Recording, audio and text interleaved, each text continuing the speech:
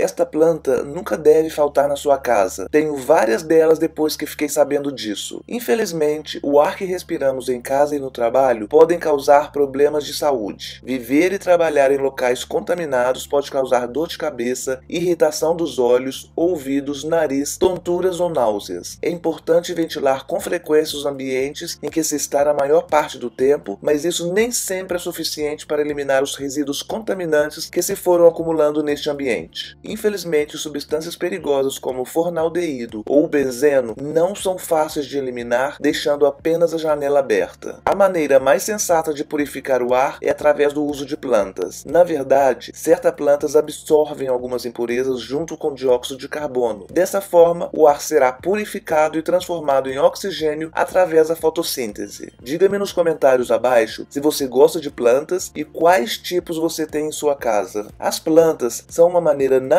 de purificar o ar do ambiente onde você vai passar a maior parte do dia. Mas atenção, nem todas as plantas são recomendadas para animais de estimação. Assista este vídeo até o final porque você vai conhecer quais são as plantas mais úteis para purificar o ar da sua casa.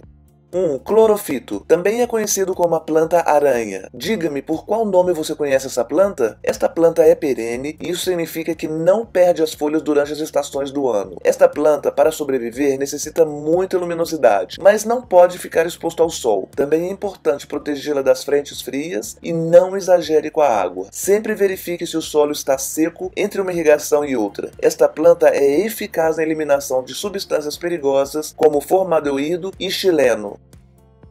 2. Bambu. O bambu é uma planta perene, cultivada em muitas partes do mundo. Esta planta, além de ser conhecida e apreciada, é ótima para filtrar o formaldeído. A razão pela qual se pode purificar muito ar com bambu é que eles crescem muito rápido. Além disso, são particularmente adequados para morar em apartamentos. Esta planta permite purificar o ar também de benzeno e tricloroetileno.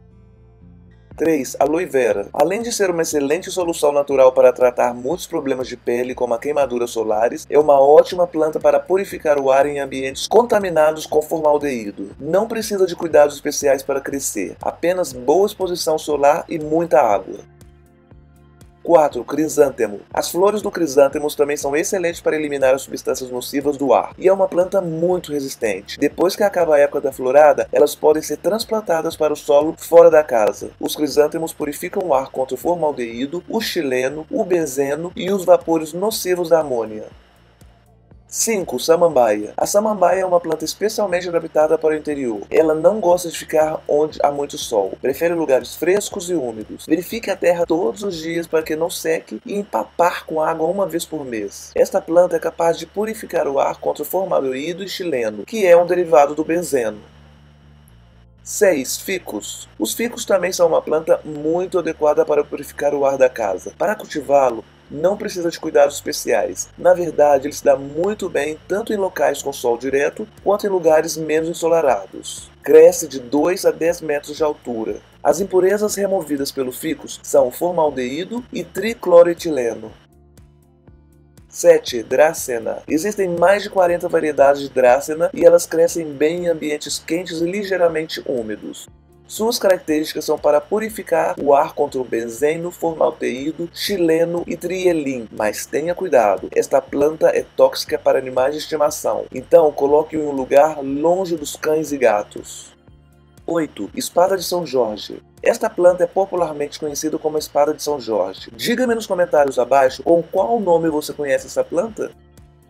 Esta planta é robusta e excelente para o cultivo em apartamentos. Ela não precisa de muita água ou muito sol, ideal para limpar o ar e muitas substâncias nocivas. É capaz de purificar o ambiente contra formaldeído, xileno e tricloroetileno. Diga-me nos comentários abaixo quais plantas que você tem na sua casa e qual é a sua favorita. Saber da sua opinião é muito importante para mim.